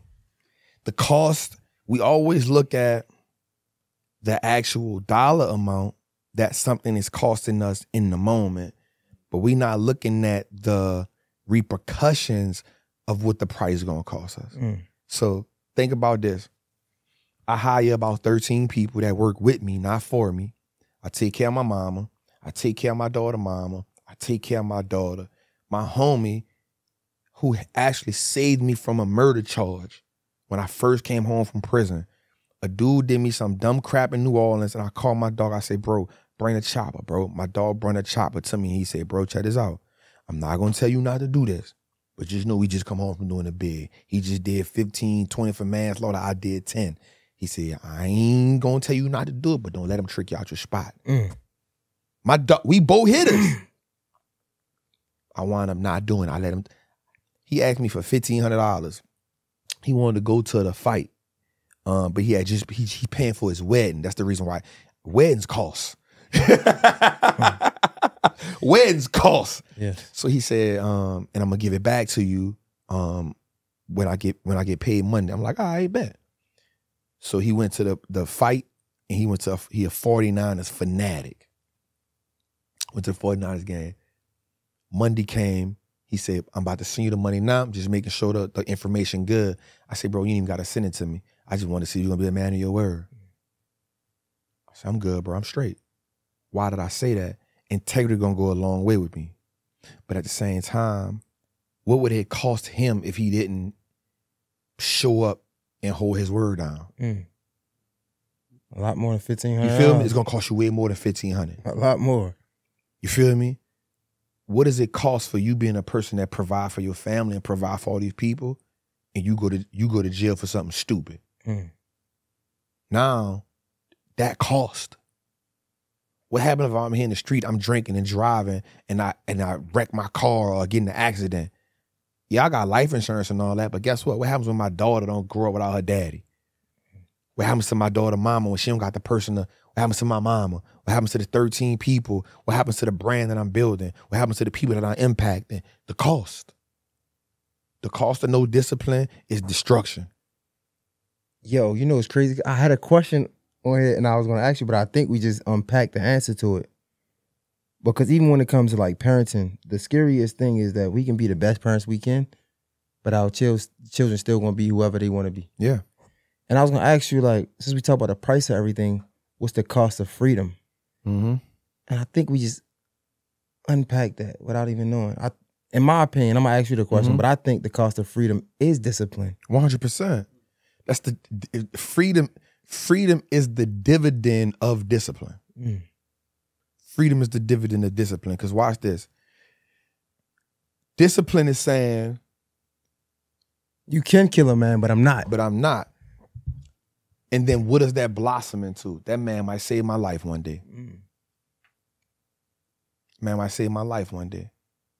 Right? Um, freedom, freedom is having the ability to experience different things in life and then those experience I'll never forget this bro watch this I was in Africa I did 30 days in Africa and I remember seeing this old dude sitting on this stump I was in Tanzania and I and I went over there and just talked to him because I just something just drew me to him so I went over and I was talking to him and I said man you know where you from and he was like he was from the other side and I was he was telling me he had a wife and the kids and all that and I said, um, well, well, how long is it gonna take you to get there? And I was about to give him the money to get there because it wasn't that much. He was like, nah, nah, nah, nah, nah.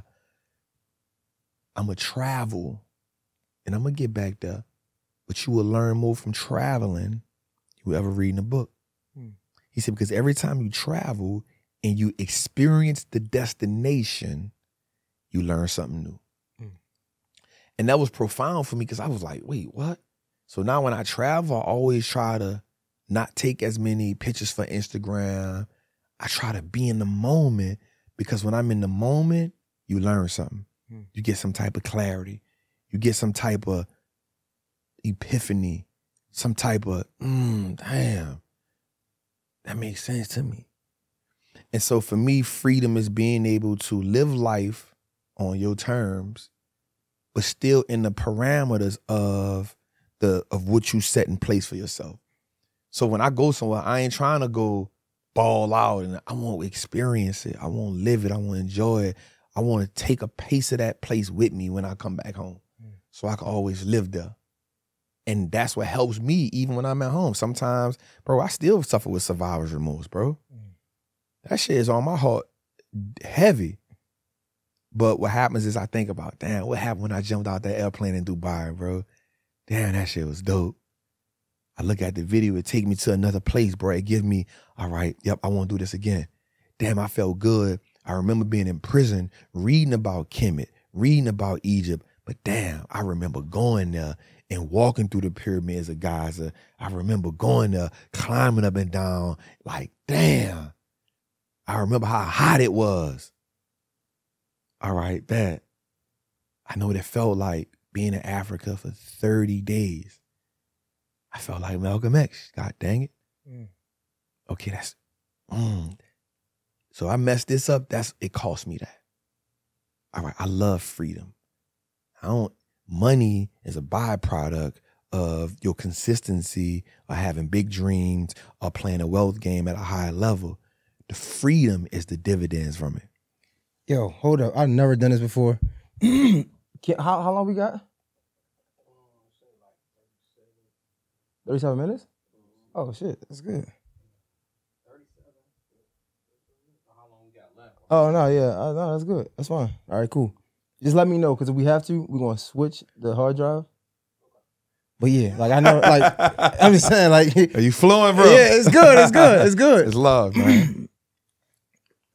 So we, if we understand money is a byproduct of all these things, Yep. right? Why so many people don't muster up the courage to have the discipline to do the things most people won't do so they can get the money and they can have a little bit of freedom. Like I'm pretty sure what's her name? Harriet Tubman, what they said, if if um Harriet Tubman would have freed so many more slaves if they just, if they knew they were slaves, right? I'm pretty sure you're teaching about stocks Mm-hmm. and about just creating economic freedom. Mm-hmm. And your platform is is good. Mm-hmm. But imagine if so many the people who saw you and didn't pass by just wanted to listen. It would be so it would be so much more. Mm-hmm. I'm just wondering why why are so many people overlooking this and, and not seeing the, the value in it? Freedom look different to everybody. Everybody freedom look the same. Mm. It said that a man on a dying bed got one wish, but a man that's healthy got a million wishes, or a Mm. thousand wishes. Mm. Freedom looks different to everybody. So for some people, freedom is, you know, having all my bills on auto pay. That's freedom. Somebody else freedom is being able to travel the world, not worrying about bills. For some people, freedom is I just want to retire right. Freedom look different to everybody. And we gotta give people what their version of freedom is and honor that. Mm. So for me, the, on my platform, you'll never see me talk about millions of dollars. You'll always see me talk about freedom. What's your freedom price? Mm. Because what happens is we start to project our vision and our goals on everybody else. And then what happens is when people fail at life, they not fit a lot of times it's not because they're failing at their own goals, they're failing at trying to be somebody else. Mm-hmm. So you've adapted Jay goals, you've adapted Trap goals, you've adapted this man goals, you've adapted the Migos goals, you've adapted the goals that Floyd Mayweather got all this money and all these women. That's your freedom, not that's your goal, but that ain't your real goal. You just adapted that goal because you have yet to sit down and say, what does freedom look like to me? Mm. Right, that's the thing about Instagram and social media. Our brain gets bombarded with so many visuals. It gets bombarded with so much stuff. And the more we download all this content, we get further and further away from who we really are. We get further and further away from our own thought processes. We get further and further away from our true emotional state. We get further and further away from what God really is. We get further and further away of what love really is. So we start looking at people and saying, that's my couple goals. When you don't know that man, he might be beating the piss out her mm. off the camera. She, they may be good actors. What happens is the more we download the content, and I was re, I would listen to this thing called the social dilemma, and it says that the way Instagram and these social media platforms is designed is to make you change a little bit every day, Until you a little bit every day. So if you go look at the average person, I told my team, I said, I need y'all to judge me. They was like, for what? I said, my screen time is at 17 hours a day. I need to get that down. They was like, well, we, I said, I'm about to just start. Now I know what I'll do. I'll trick myself into doing this. I'm doing market research. Mhm. I'm studying the platform. I'm studying the content. Man, get your ass off that shit. Get off of it. That's what I've been doing. Getting my screen time down. All right, Trap, you got 700 books. Do market research right there. Trap, you got 200 audio books on your phone. Do market research right there. Get off that goddamn phone. Mm. You got 17 hours on one phone. You got three hours on one phone. That's 20 hours. What we doing, bro? Mm. You feel me? And so when you start to be like, man, I don't really know who I am because you done took, you followed 200 people, you listening to this, you done took in everybody else's content. You getting further and further away from your thoughts, your goals, your ideas. Your identity. You get further, and the further you get away from that, now you got people. You wonder why everybody dressed the same. You wonder why everybody look the same. You wonder why everybody having the same conversation because everybody downloading the same content and everybody looking from praise from everybody who look like them, sound like them, talk like them. But yet we all think we got freedom of speech. Mm. We all thinking we individuals, but yet we only replicating certain things. So how do you break away from that? That's why when you see certain people, you be like, "Ooh, there's something different about that person." I can promise you they read. So that's what I like. I read a lot, bruh. I read, I disconnect. I'll get on the gram, I'll even YouTube, I'll get on there, I'll put my content up, I engage with my people, it's off. Audible book. Read my book. That's, you start to find your voice. You get to find your perspective. You get to find your ideas. You get to tap into that. But if not, what happens is the minute somebody disagree with you, guess what you feel like you got to do? I gotta, I got, uh, uh Let me, let me, let me handle this comment. You can have a thousand positive comments. That one Mhm. negative comment in there, you about to address that. Mm-hmm. Bro, why are we addressing this? Why? So the further we get away from ourselves, just to get back to that, um, again, it goes back to one, environment and standards. And two, it goes to how far are you from your identity? Mm. How far is a person from their voice? Think about when we look at the movie Get Out, right? And when dude was in that proverbial sunken place, right? Think about Instagram, think about social media, think about these platforms as he was still able to operate in the body, but mentally and spiritually, it wasn't him. Somebody else was controlling him. Man, just think about how many people walk around here just like that. The minute they get up, they hit that phone. That's the equivalent to that. Bink. Soon as they get up, wake up, they don't wake up. Thank you, God. This first breath of fresh air, I wasn't promised this, but you gave it to me. You saw something in me that felt like I deserved this breath, this breath of fresh air. I'm gonna just take five minutes to be thankful for that. No one do that. We take that for granted. Guess what we do? Um. Aha. Damn, I'm late for work. Shit, let me get up, go brush my teeth right quick. Right? That's the you went to it. You here. And the further you get into it, the further you the problem is you don't even know it. Mhm. And here's what I can bet you. I can guarantee you this. If we put 10 people in the room, eight of them at least tell themselves once a week, man, I'm gonna get off this thing so much. Man, I'm gonna stop spending so much time on that thing. Man, I need to be doing some other stuff. I keep procrastinating. You procrastinate. Yep, you are procrastinating, but you spend three hours on that phone. You're in a you're in a sunken place. You don't lost your voice. You don't lost your vision. You don't lost your identity. And you basing, you're basing the things that you reward yourself with based on who's giving you accolades in the comments. Mm-hmm. So if the post don't get enough likes, you hide the likes. Man, I don't care. That thing get 30 Like I got a million, three million, three people following me. Bro, you could go, you could see some get 3,000, 5,000, 10,000. Some got a 100. Guess what? I don't care. I don't care. Right? So the further we get away from who we are, the further we lose our voice, and people ain't gonna agree with it. But what happens is denial is a way of saying, like, there's somebody in my front porch.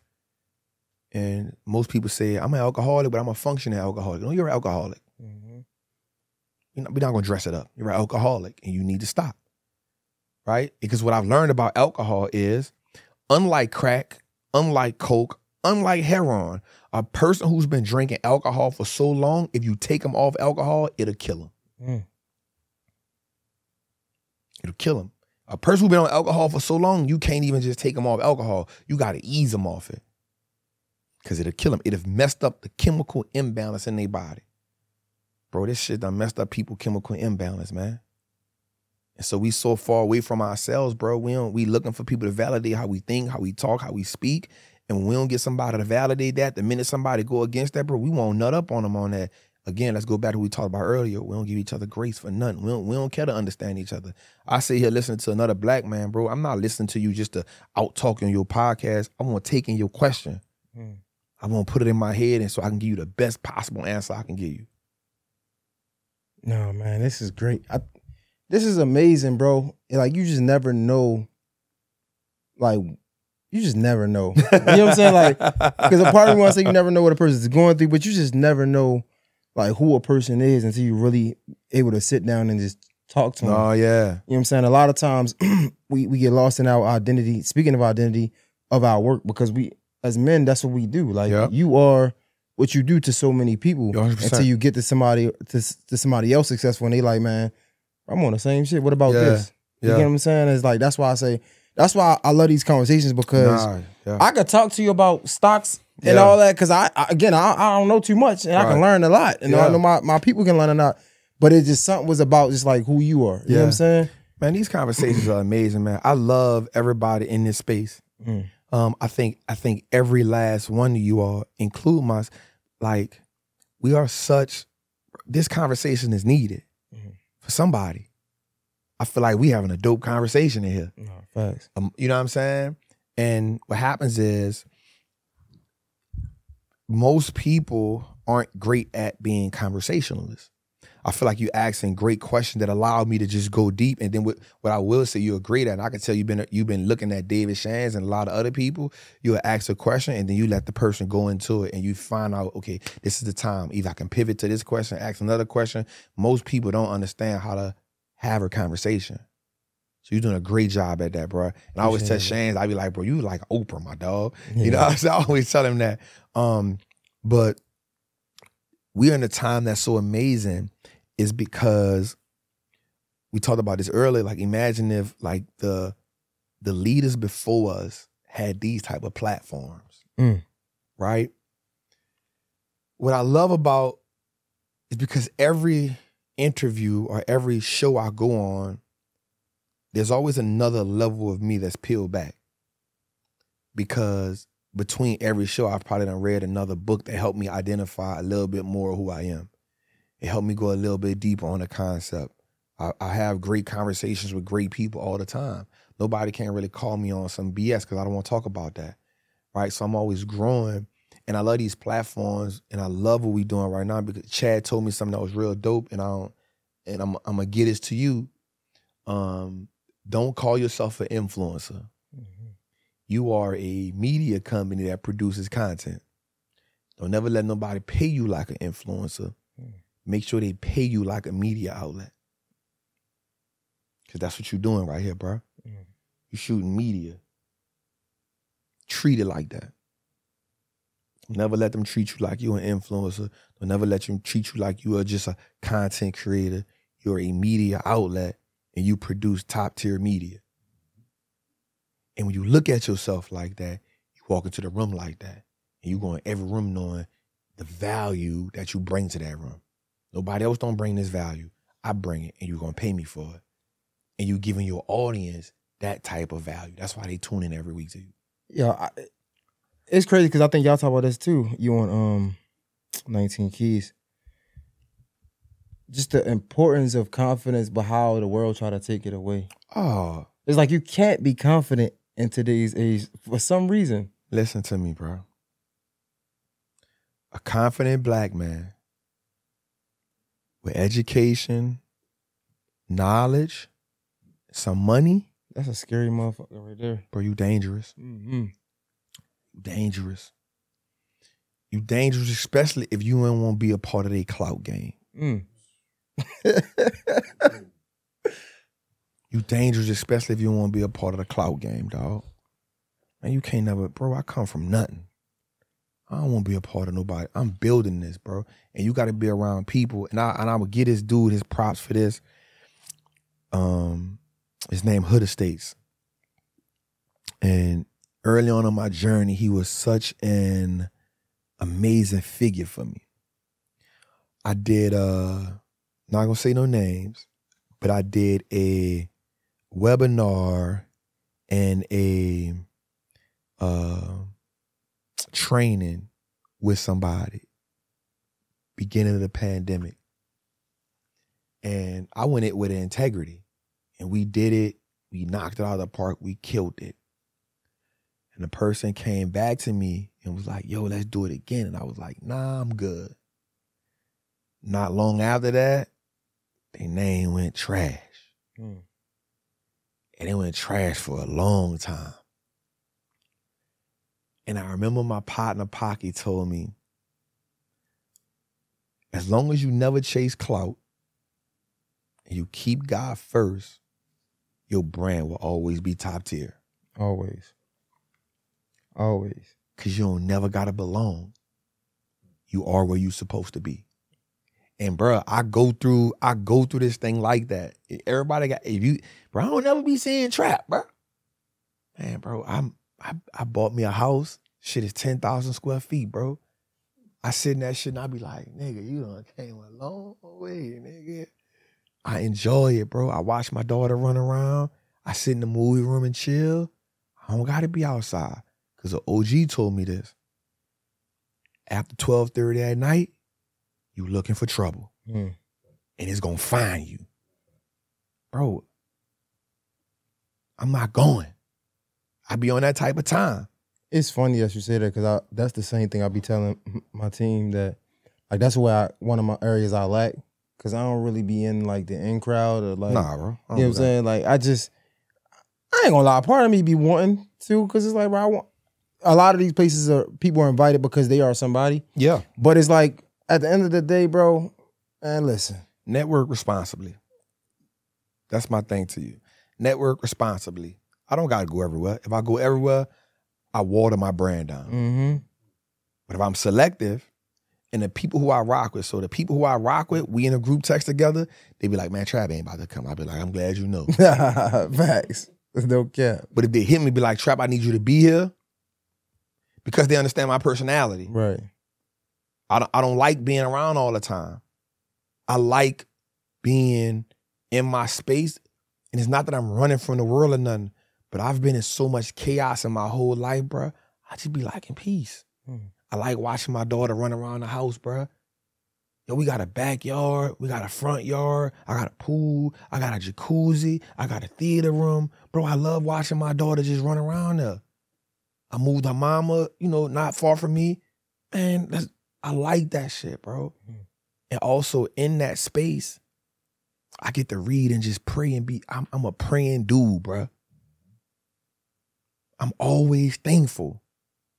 Bro, I ain't on, bro, in 2018, I slept on the air mattress. Mm.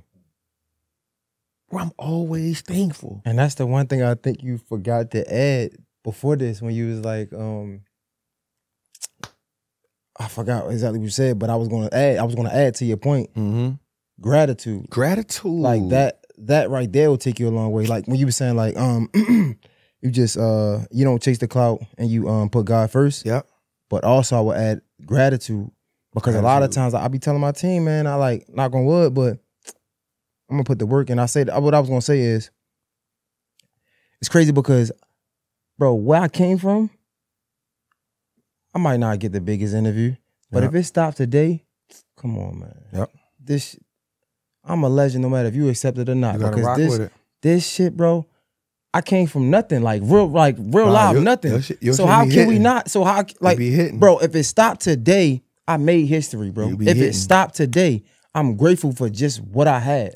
Thank you. hitting. You get what I'm trying to say? You be hitting. And I feel like that is what a lot of people overlook because we again, I, and I understand, right? I, I understand. I'm I'm grateful, but I but at the same time, I don't because it's like, yo, we're chasing, we're, we're, we're climbing this ladder to success, and yeah, we want we want the biggest of the biggest, Mhm. But you can't ignore where you at, bro. You can't. because five years ago, a three years ago, This is a fact. it was not even close to this. I was is a fact. begging to have an answer from the niggas that I'm interviewing. This is a fact.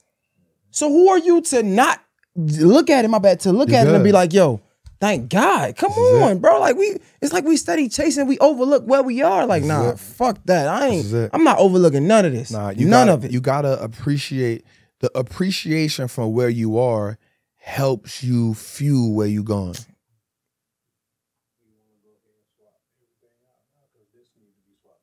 nah, we about to finish. Where is it? How, how long? All right, come on. We about to finish. Go All ahead. Go ahead. Um, the appreciation for where you at fuels where you going. Mm. So I go in every room I go in, appreciative, but also knowing who I am. Mm. So I'm I'm I'm grateful for being here, but you ain't gonna downplay me while I'm here. You feel me? I'm grateful for him, but I know who I am in this room. Yo, cap. You feel me? And so I'm I'm I always look at that. When I go through our hardships, when I go through stuff, I be like, yo, you was on the Air Max in 2018. This shit is beautiful. And the problems I'm going through ain't shit. What are we talking about, nigga? I was homeless. Fuck are we talking about? this shit ain't nothing. A nigga won't answer the phone. Fuck it. Yeah, What are we talking about? and I appreciate that. I, I, I again, I, I look at my phone right now, and I'm like, yo, I got, I got Eric Thomas on. What we doing? Come on. What are we talking about? Facts. like, I got ET, I got Charlemagne on my line. I got Steve Harvey right hand man on my line. Mm-hmm. What are we doing? I got Rose on my line. I got D1 on my line. That's my dog. I love him. What we what? I go on the phone. I got two billionaires and like five, six, seven, eight regular, you know, millionaires, 10, 20 millionaires. Bro, like I ain't tripping. I'm here, and these good relationships. Mm, mm, mm. Plus, I still got the homies from the hood that's real rock solid. Like I got a good thing here. I'm appreciating this. I got levels. I'm still, I'm still here to never forget. I'm here to understand why I'm at. I got these people to know where we going as big picture thinkers. Bro, I'm good here. Yo, it's So hey, I appreciate it. I appreciate you pulling up. Yo, we didn't talk the storage off the hard drive and the damn audio. Yo, we got this. This shit is great because I I got another hour. in. I mean, we, we gotta come on, we gotta do a part two, bro. I appreciate For you sure. pulling up. For Like this is really like, this was really good. Like like yeah. this could do one view and I'll be great. Yeah, nah, it, it, it was just it, it was Thank you, man. it, it fulfilled the soul. I hope it um it did the same for the uh the, the viewers. yeah, man. Um, bro, I, I appreciate you. Thank you, brother. I appreciate you, man. Appreciate you on the team, man. Thank Already, you, man. Tra- yo, Wall Street Wall Street Trapper, Mr. Jay Hill, Jay Hill Podcast. Y'all know how to follow him. Y'all, I don't even. Yes, you don't got. I mean, I guess if you Like, want. uh, on Instagram, you know, it's wall underscore street underscore trapper. Would love everybody to check out the live show we do every Tuesday on the Wall Street Look Like Us Not Network on YouTube. It's called Trapping Tuesday, helping you build your confidence in the market and helping you build legacy, man. So we trapping, man. Wall Street Look Like Us now. I appreciate you again, brother. Yes, sir, man. Jay Hill, Mr. Jay Hill Podcast. It's a wrap. We out. Thank you, brother. Ah, man, that shit was good, man.